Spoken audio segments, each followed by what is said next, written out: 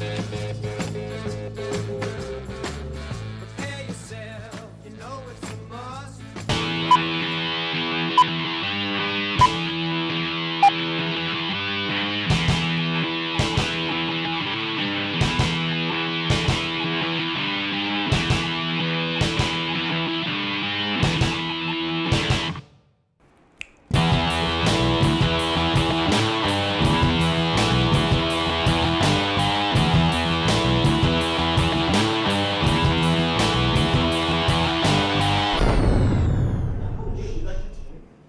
Good morning, Walpole High School. I'm Connor McMahon, And I'm Brian Carroll.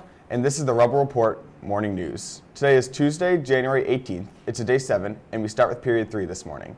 Now, please stand for the Pledge of Allegiance. I pledge allegiance to the flag of the United States of America and to the Republic for which it stands, one nation, under God, indivisible, with liberty and justice for all. You may now be seated. Math team members are reminded that their Meet 4 2013 2014 problem set is due tomorrow. See Ms. Milne if you need materials. There will be a mandatory team meeting next Friday, January 26th.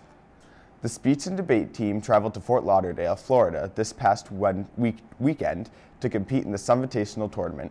Congratulations to freshman Mahoney Cree, who broke into the top 24 out of 66 students in the humorous invita- in the humorous in- bleh.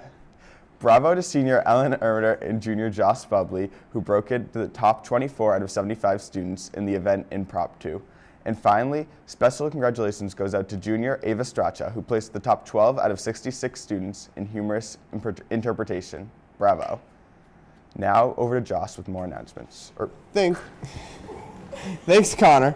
He's got he's got his mind on his money and his money on his mind. It's time for words of wisdom with Javon Jackson.